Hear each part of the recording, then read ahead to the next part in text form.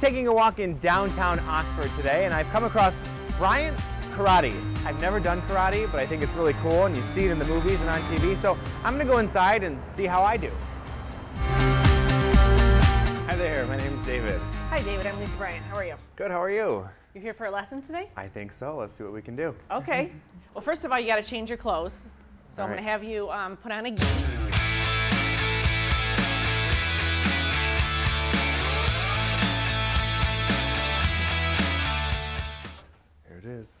Is. Fit you good. I kept the socks on though because the bathroom floor was so cold. Okay. Well, we have to remove our socks. I will, I will. Yeah. Okay. All right. Do you- um, so you're going to tie the obi on you. okay, is there any special way? Yep. So take it around, out or around, and now bring it back on one, each side. Okay. and I cross it over in the back. Yep. Now, this is the important. This is your first lesson.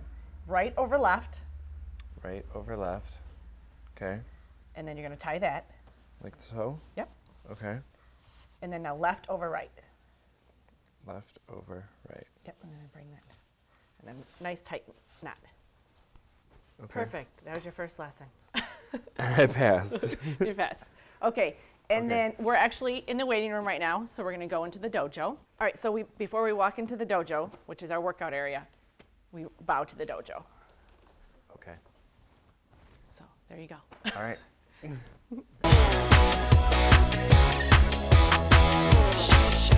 About Bryant's? Um, well, we've been in business since 1993. Um, we've been teaching in Oxford since 2000. Before that, we taught in Auburn Hills um, at various locations. That's where um, we moved from when we moved to Oxford. Um, we're Isshinryu style karate, which is um, Okinawan, Japanese style, where we do a lot of tournaments. And um, we don't expect our, all of our students to, to participate, but um, the majority of them do. And we do quite well um, on the Michigan Sport Karate Circuit. We took um, eight first places this year, eight state titles. Um, and um, we just, it's like passion of my husband and I's, and we just have fun with it. And now you love it? I do love it. I love um, I love the teaching. I love um, developing the kids and making them, you know, as we call them, karatekas, karate students. And um, I love the coaching that we do at the tournaments and things like that. So, yeah, it's just um, it's just I don't even know. Like people say, what do you do? You know, like when you go home from work every day, I don't know what we would do. you know, this is just our our life. We're up here three nights a week, and then like I said, we're we have tournaments every other, almost every other weekend at least. So it keeps us very very busy, and you know, both of our kids um, are in it, and um, so it's a family a family affair. You know, we don't run a huge school. Um, again, we don't do it full time and we we liked the students that are here to be here because they want to be here. Not you know we're not like running a mill of you know got 100 students and we're just getting them through and you know tying belts on them so we have a good core of about 40 to 50 students that we run and um, we have a karate team of you know about 20 so the other 30 you know die hard they come in get their you know lesson done and you know and then go on with their day. And the other ones are here maybe three, four, sometimes five times a week. And tell me about karate. Um, you know, I'm, there are a lot of kids that don't do well with sports in school, but they can come and do something like this. How is it beneficial? It's beneficial because it's individual. You know, you can come as a, in a, into a class, and um, like parents will ask me, "Well, is there sessions?" And and some schools do have sessions, but we just say no because you'll your child will eventually catch up. You know, we have um, 15 basic punches, eight kicks, and then once you learn that, then you start learning forms and patterns. So you you get right into the the class, and some kids learn quicker than others. What are we gonna do? Okay, we're gonna have um, a first lesson, and basically, since you're an adult, you're gonna learn quicker than say one of my six-year-olds. So we're gonna teach you four punches and four kicks, and then we're gonna execute the moves that I teach you on the bag.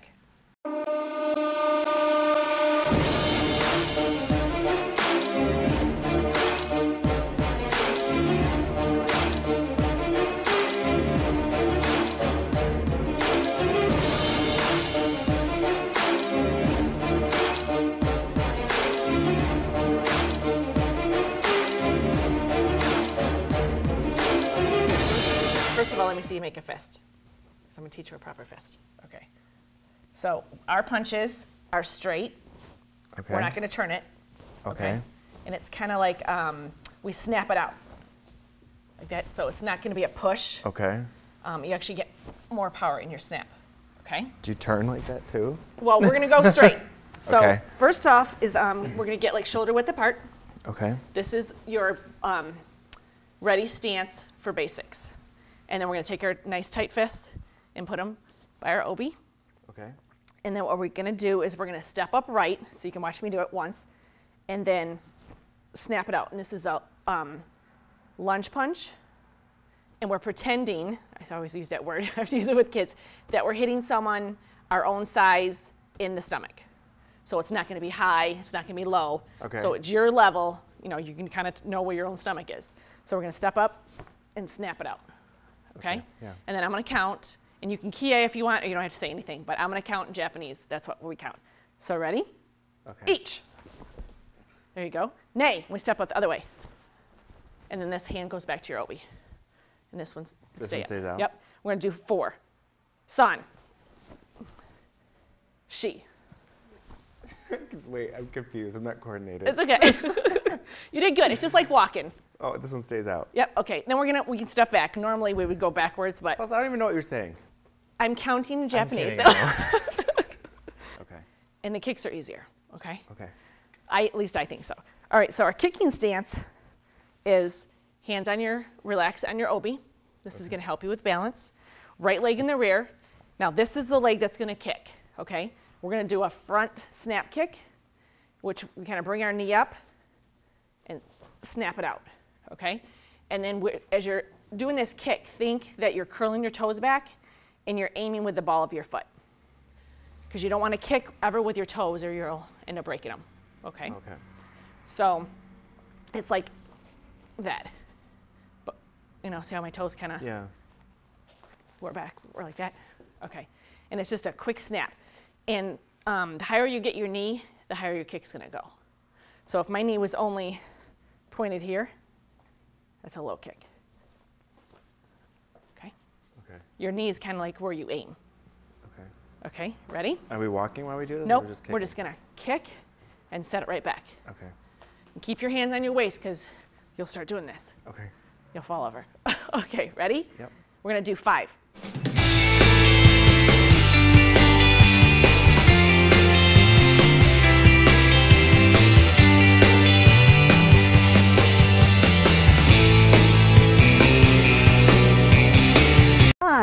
Van Horn, and I'm the hostess for How Great Thou Art. And we interview different artists and show their artwork. And I hope you join us because it's very educational. And if you have any artistic talent, this would be a way to improve it and get it out there.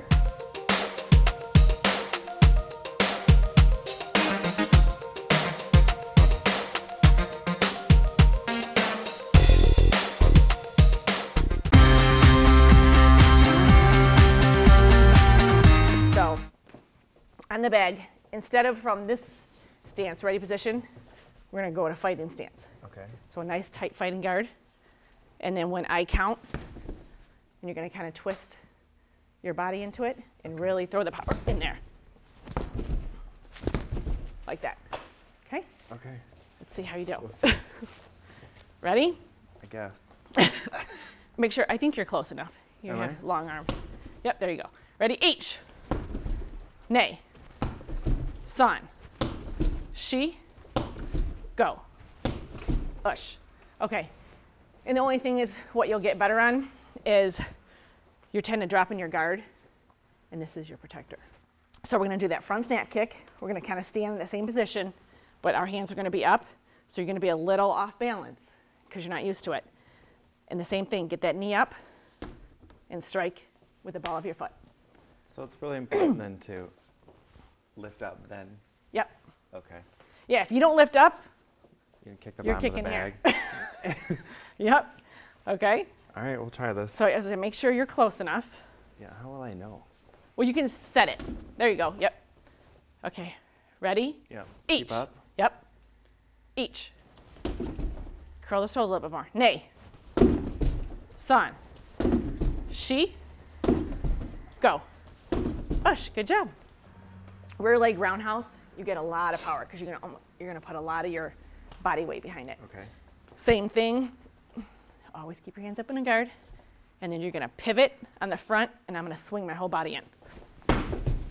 Like that.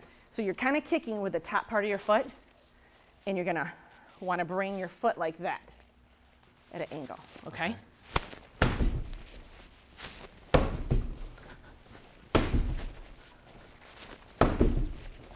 wanna try that? Yeah. You'll like you're this putting one. your whole body into it. You're just, yeah. You see, you're kind of, you're swinging all the way around. Okay.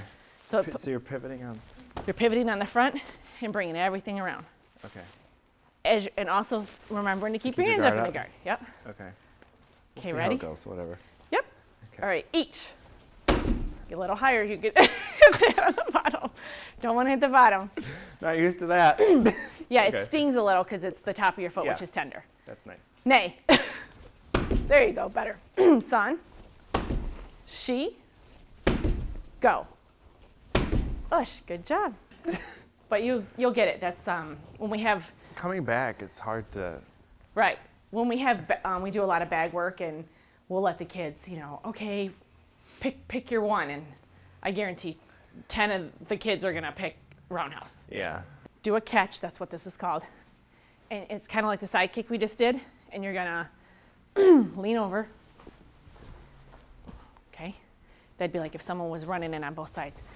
Kick that guy, kick that guy. Okay. like in the movies. yeah, exactly. exactly. So I'm gonna get up a little, I'm gonna stagger so Okay. we don't kick each other. So we We're gonna go right, left. Yep, so our hands here, right, swap over, left. Okay. Ready? Yep. Each. Nay. Oops. son. It's two kicks for, for number. she and go. Ush, good job. That was kick five. So you learned five kicks today. Yes.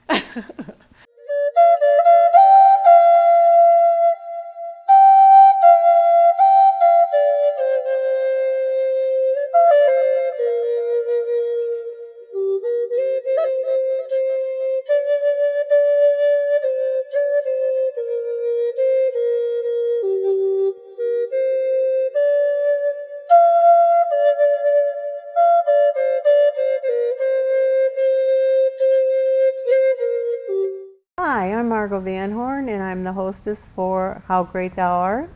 And we interview different artists and show their artwork.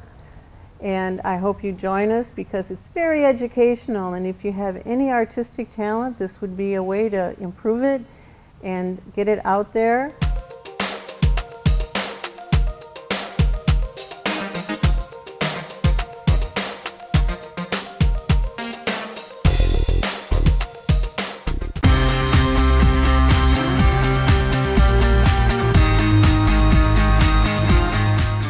Lisa, thank you so much. I had so much You're fun. welcome. Thank you. Yep.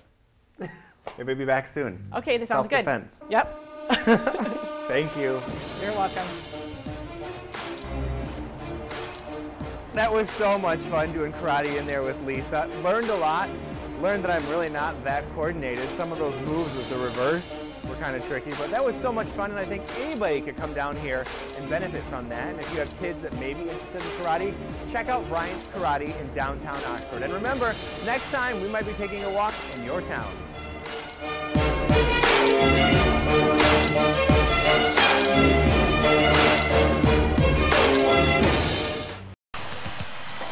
You better get yourself ready. Is the seatbelt on your couch fastened tight? Do you have a file handy for chewed off fingernails? Make sure you do and hang on tight because the fat man cometh.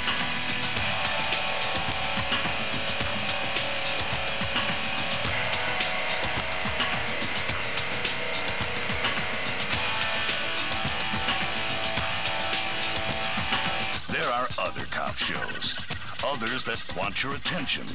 But nothing will command your attention like the amazingly horrendous things you'll see people heartlessly do on Fat TV. the men and women of Fugitive Apprehension TV.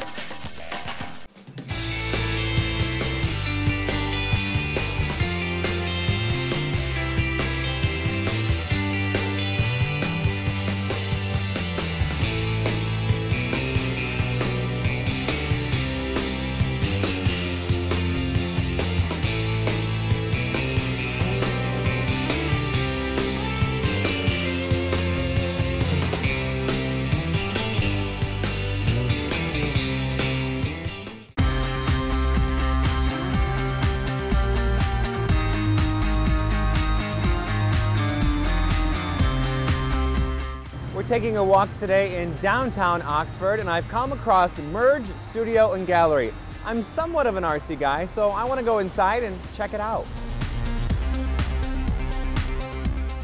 Hi there, I'm David. Hi, I'm Carrie Collins. Welcome to Merge Studio and Gallery.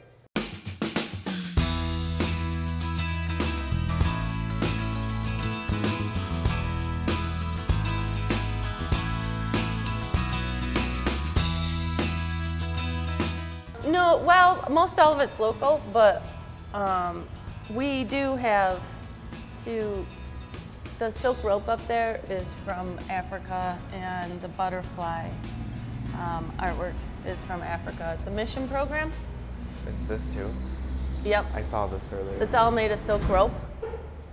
So these, there is a guy that lives in uh, upstate New York who spends half his time in Africa and half of it here. And so he works with a whole bunch of different artists in Africa and he brings the work back and sells it and then the money goes to build schools and orphanages and stuff like that. We have all the artists price their own stuff and the gallery just gets a commission on what sells. So, yeah, we they determine the prices. Um, it's better that way. I don't really Right. want to be the one to tell somebody how much their time is worth. Right. These over here are the green and tan pieces are Denise. She's our pottery instructor. Um, it's just her finished work. She's been a professional potter for 20, 20, 30 years. And I was hoping she could be here today for you guys to film because she can, it takes her like 10 minutes to throw a bowl like Really? this. Yeah. And so then some of these pieces in here are pieces she's thrown here at the studio, and then our staff, our artists, have painted them. So we have some of the studio work that is for sale. These are um, sculptures made of scrap metal, and and it's like basically recycling it. My brother, who lives in Jackson, actually makes those pieces. And uh, we do.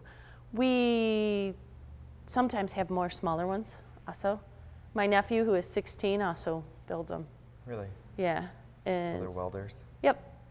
Yep. So we have classes on Mon on well, first of the year they'll be on Wednesday and Thursday, and Denise, the professional potter, comes in and teaches people how to throw. So these pieces back here are students' work that is um, drying. These have not been fired yet. So they've been thrown on the wheel and they haven't been fired yet. And then we fire them once at a Like lower. These ones have been fired. Yeah, those have been finished fired. Yep. Oh. A lower temperature, then they come out and they look like these here. So they've been fired once, and then now they're like at this state, they're ready to paint. So these pieces up here are all student work, and they, um, Can know, anybody come in here and like paint and fire?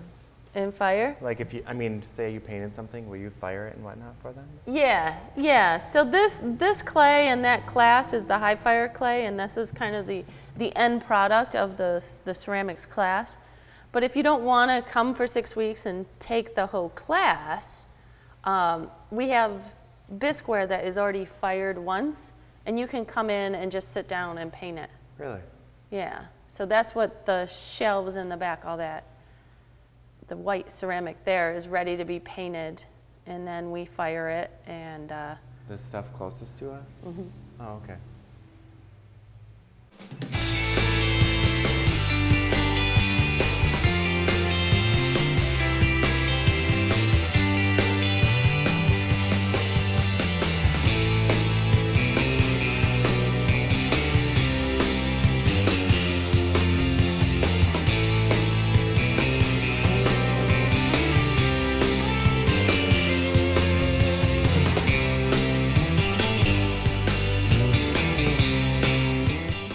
Hi, I'm Margot Van Horn, and I'm the hostess for How Great Thou Art. And we interview different artists and show their artwork. And I hope you join us because it's very educational. And if you have any artistic talent, this would be a way to improve it and get it out there.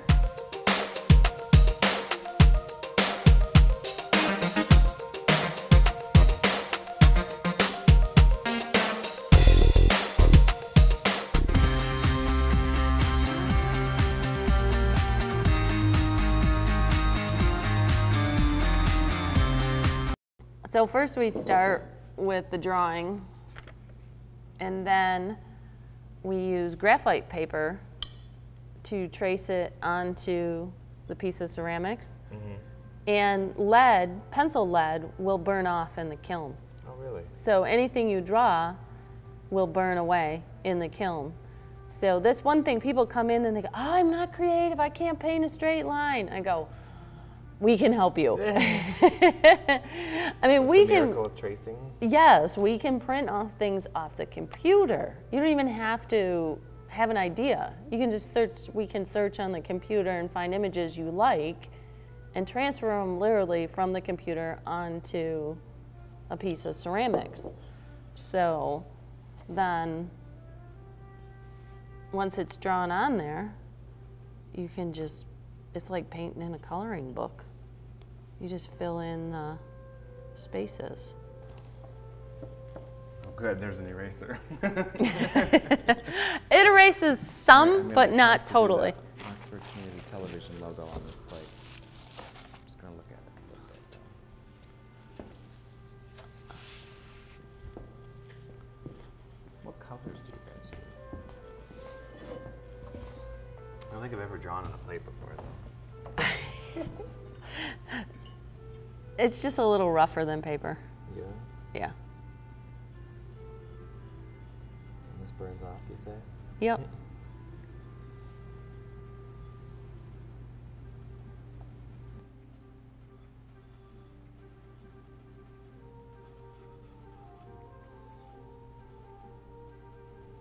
This weekend we have two parties on Saturday and two parties on Sunday. Birthday parties. Then next weekend we have a corporate Christmas party for a company of about 45 people. And Victoria's is catering it and we they booked a comedian from the Mark Ridley Comedy Castle to actually come here and do a show. Really? Yep. That'll be fun. Yeah. So, and then, so then next weekend we have three parties on Saturday and two on Sunday.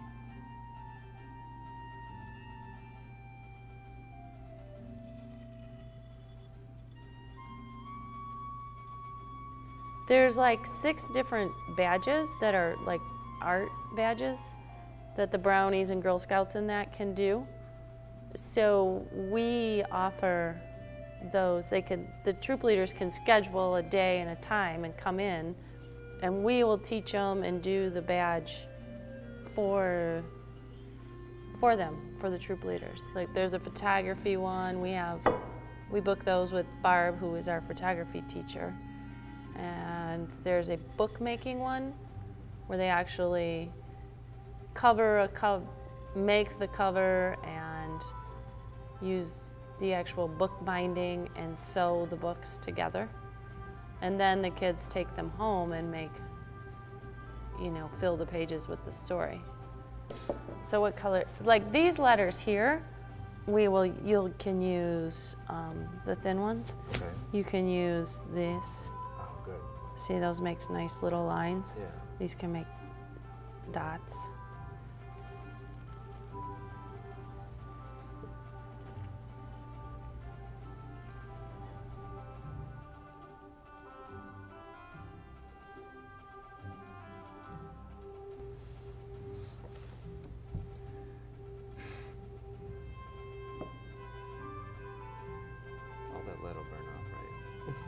Yep.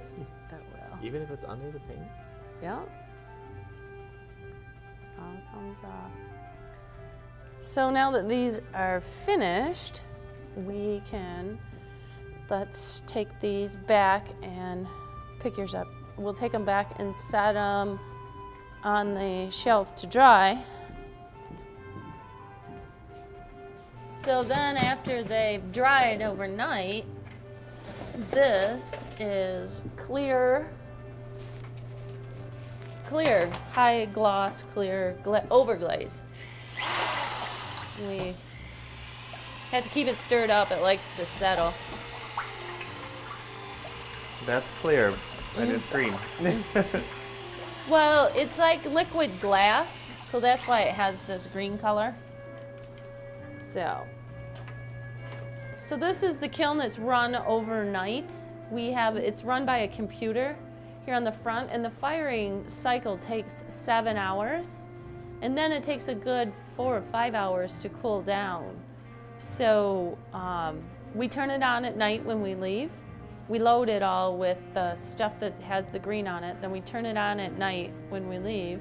And then in the morning, we slowly open it.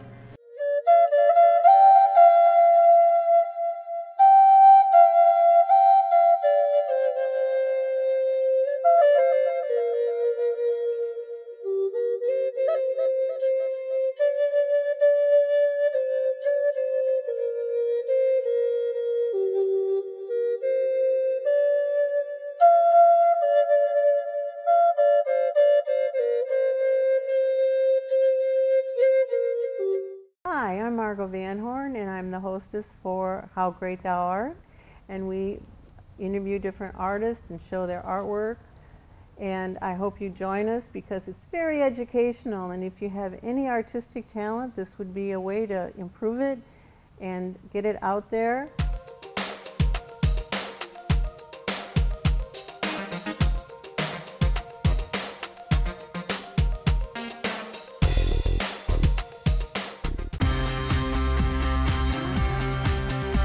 Well, this is a beautiful place you have here. Thank you so much for showing me around and letting me paint that plate. Yeah, you're welcome. We're glad to have you and hope you bring back all your friends and check it out when it's all finished. Yeah, maybe I'll have a corporate party or something. Oh, very nice. Thanks, it was nice to meet you. Thanks. Have a good weekend. You too. So that was a lot of fun. Carrie is a great instructor here at Merge, and really if you're not comfortable with drawing something or painting, there's stencils that you can use. You can use the carbon paper, put it right on the pottery. I think this will make a great place for gifts around the holidays. Come check out Merge Studio and Gallery here in downtown Oxford. And remember, next time we might be taking a walk in your neighborhood.